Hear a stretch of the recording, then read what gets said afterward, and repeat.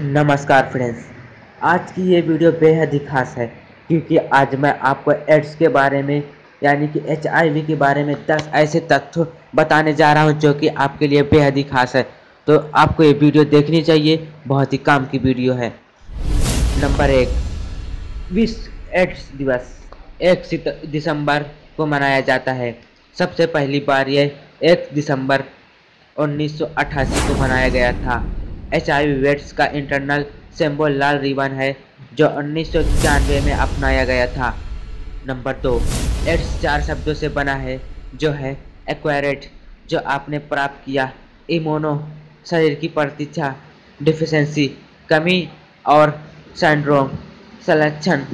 इसका अर्थ है कि वह बीमारी, जो आपके शरीर की खुद की रक्षा करने की पावर कम कर दे।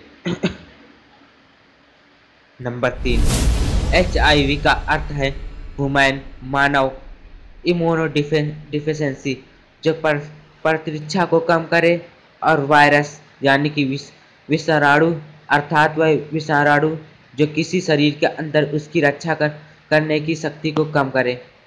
नंबर चार, दुनिया में सात करोड़ लोग एड्स से पीड़ित हैं, जो कि तीन करोड़ चालीस लाख लोग उसकी वजह से मर भी चुके हैं। नंबर पाँच वर्तमान समय में दुनिया में लगभग चार करोड़ लोग एड्स से पीड़ित हैं। इनमें से दो करोड़ दस लाख तो ऐसे हैं जो पंद्रह साल से नीचे हैं। एच आई वी विषाणु अफ्रीका में उभरा और दस साल के भीतर ही पूरी दुनिया में फैल गया।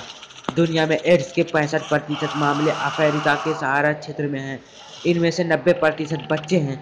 स्विट्जरलैंड, अफ्रीका देश में एक पंद्रह वर्ष के लड़के के पचास साल जीने की संभावना अट्ठाईस प्रतिशत थी।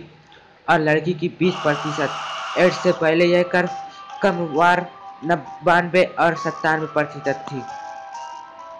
एक अनुमान के अनुसार 2011 में लगभग 25 लाख लोग एड्स से प्रभावित हुए, जिनमें से 17 लाख की मौत हो चुकी है।